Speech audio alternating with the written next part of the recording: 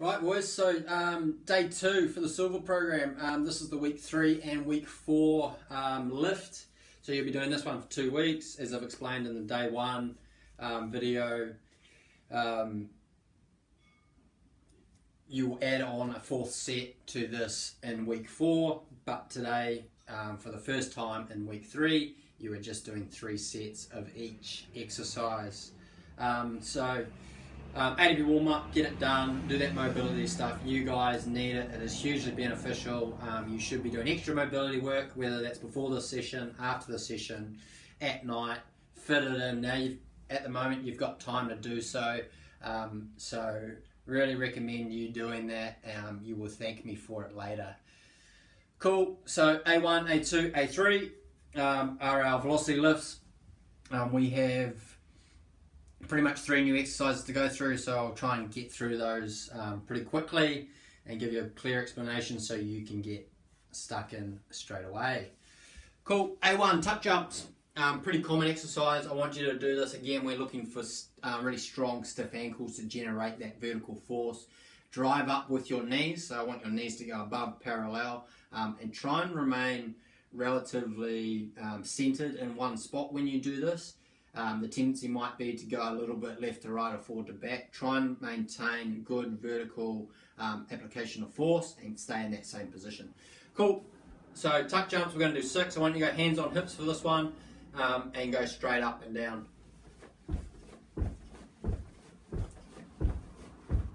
Cool, so it might take one set to get a feel for that, um, but as you warm into that, really go up nice and high. Good leg drive, get your knees nice and high and get that good contact time um, on the ground. So I want you to do six of those. Um, that's A1. Um, A2 is a plyometric push-up. So virtually what you might know as a clap push-up without the clapping. Let's adjust this for a second. Um, so good strong push-up and drive up and then catch. That's one. Second one, two. So I want you to almost reset do one, apply that force, get off the ground, catch it like we would for a jump um, on the landing, and then reset and go again. If you find you don't have the upper body strength or you can't get off the ground, um, that's okay. Even if it's just a small little um, lift, that's cool. But if you are really struggling, just go to your knees. So go for a push up from your knees and then still apply that force from that position, um, that press up position to get that upper body plyometric exercise done. So that is A2, I want you to do six of those again. Um, and A3. So we're still doing that Superman back extension like we've had in your other programs. Um, this time we're adding an overhead press. So what that looks like is, you do your Superman, then you're going to do a shoulder press up and back and down. Back extension, elbows go in, overhead press, and back down. So I do my back extension and I'm in this position, elbows come down level with my shoulders and then I squeeze them back um, up to my ears, just like a shoulder press or military press. Um, that is A3 and I want you to do six of those. So week three, three sets of that. If you're doing this as part of your week um, four, uh, day two, this will be four sets. Um, just on that, I have posted your day one, um, so make sure you go back and do that. Um, it is it was on a teachers only day initially, but that ex, that session is in there, so go and do it. You should be getting these two lifts done at a bare minimum. Um, so do the session today uh, if it's your first for week three, and then get that day one session done uh, later in the week. All right, moving on. So B1 um, we have got a press up, but we're going to control both the eccentric and isometric components of that lift, or portions of that lift. Um, there is 12 repetitions. We're going to go, what have I written? So it's got a three second eccentric as well as a two second pause. So we've got a five second um, pretty much down and hold. So three seconds down, two seconds hold, and then we're back up as we normally would. I want you to go just a conventional press up for this one. Um, so that's hand spacing is just wider than shoulder. Um, you might like to go a little bit wider or a little bit more narrow, but we're not going to the point where we've gone super wide or more of a military, we are in the conventional press up position. So how does that look? So three seconds. So one, two, three. Hold for one, two, and then back up. So one, two, three, one, two, and back up. Um, there is 12 repetitions in there. Um, if you get to 12 and that's way too easy, you need to, you feel like you want to add in a couple more, go for gold, get hit 14, 15 repetitions, adjust that to your individual needs. Um, that is, it is quite hard, so you might start off thinking that it's quite easy and you're going to bang out 12 quite comfortably, but you might find that fatigue catches up with you pretty quickly. The key is that you maintain that good three seconds down, don't speed through the count, hold for two, again, don't speed through the count, and then back up good, solid, strong press ups for 12 repetitions. That's what you should be looking to achieve um, in B1. B2, side prone with an addition. So here's my side prone. I've got um, my hand on hip, so that's what our typical position would look like. But this time I'm going to reach under, so under my armpit, twist and reach to the ceiling. Under my armpit, twist and reach under my armpit, twist and reach. Still keep your hips high. They don't sag down to go under and then back up as I reach. They stay in that position, under, control, and open up. Notice that my hips didn't twist, they didn't drop or sag. I use my core to hold myself in that position. Um, and you're going to do 12 repetitions on each side. So obviously under and reach is one, um, and build up to 12. That is B2. Um, B3, so I've got an unsupported bent over row, so you will need some sort of weight.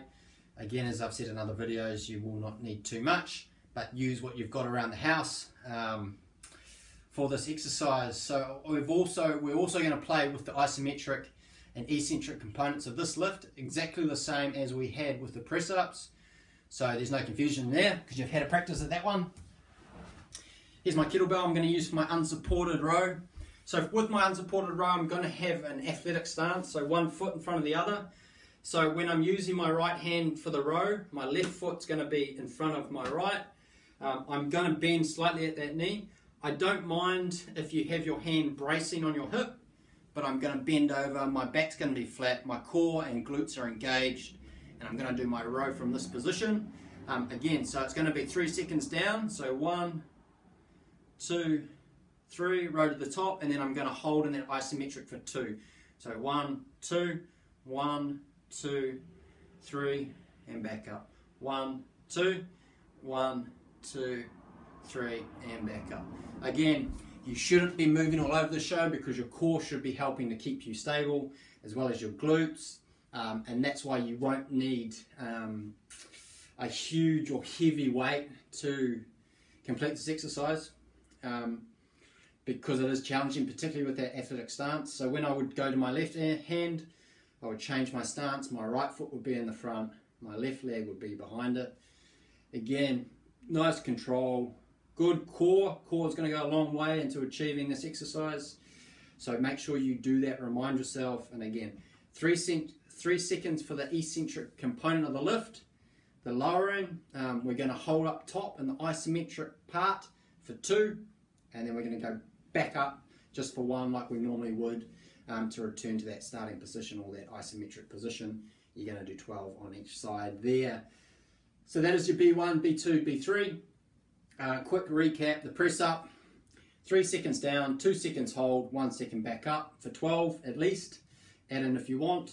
Um, the side prone with the reach, keeping my hips square still and not letting them sag or push to the ceiling. Um, staying nice and stable and strong there. And then the unsupported row, so the athletic stance or the split stance. Um, hand on hip, core engaged. I've got my two second ISO hold at the top, three second eccentric lowering portion of the lift, and then I'm just back up for one as we typically would. 12, 12, and 12. That is the B series.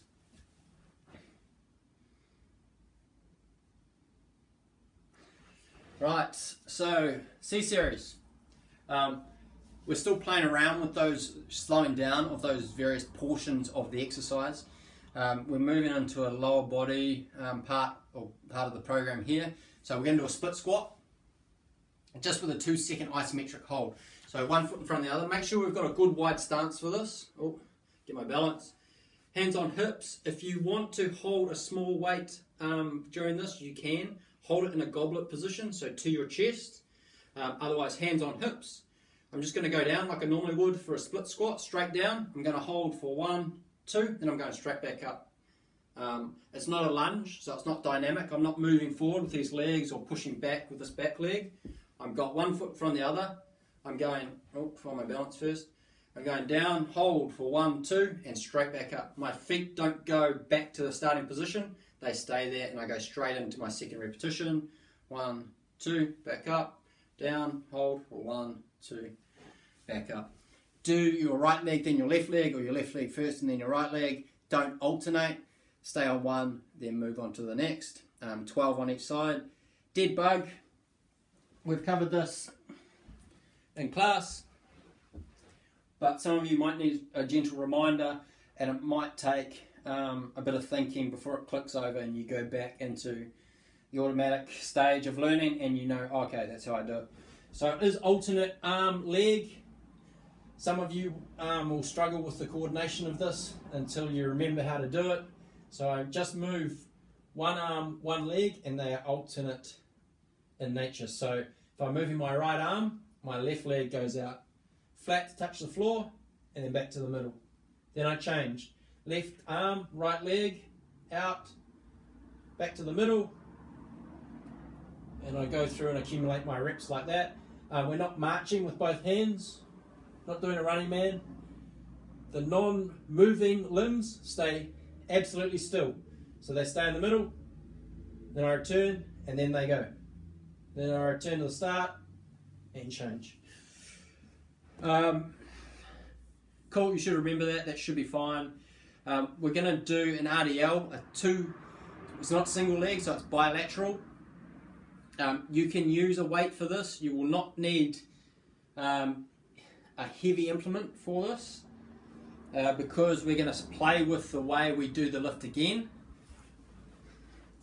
So we're going to do our hinge, our hip hinge or our RDL. I've got my kettlebell. I'm going to go five seconds down. So one, two, three, four, five, and then three seconds up. Two, three. So one, two, three, four, five.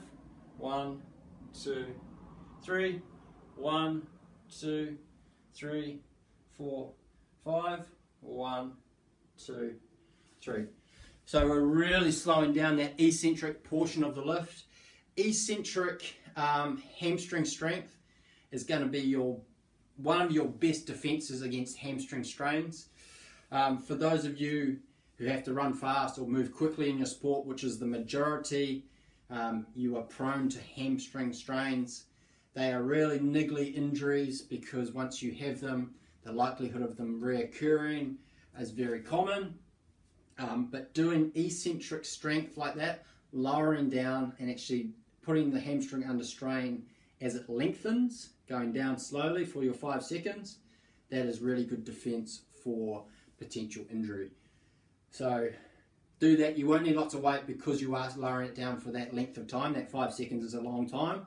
So the tension um, will be created by your body weight, but adding a little bit of weight, um, whether that's five kilos worth, would be really good for injury prevention. Cool, so that's C series covered. So split squat. Um, just remember split squat is not a lunge, so we're not lunging forward or pushing back. We're simply getting our stance and we're going straight up and down. We've got that two second isometric hold at the bottom of the lift.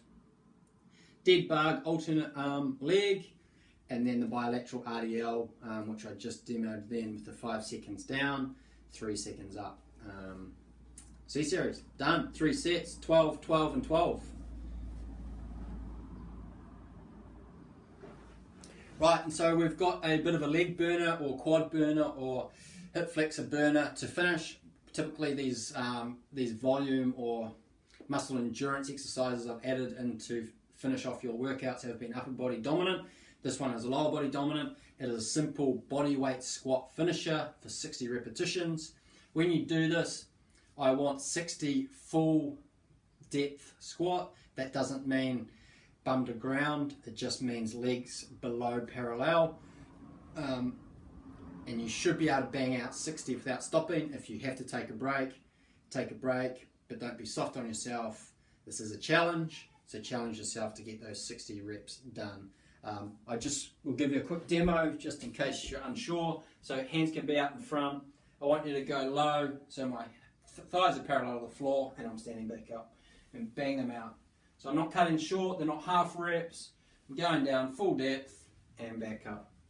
Bang out 60, session done. That's day two. Um, reminder that this is your day two session for week four as well. However, you'll be adding four sets into the A, B, and C series. Cool.